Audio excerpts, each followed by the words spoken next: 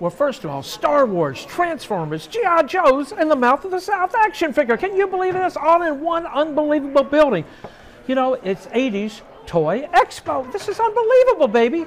Tell us a bit about your career and uh, and how you started and, and how you ended up here today at the 80s Toy Expo. Well, in one minute, let me tell you what it's going to be about. Started in Memphis, Tennessee with Jerry the King Lawler, went to high school together. He went to wrestling, I went to music. The next thing you know, I'm doing a wrestling album and I'm managing the King in Memphis.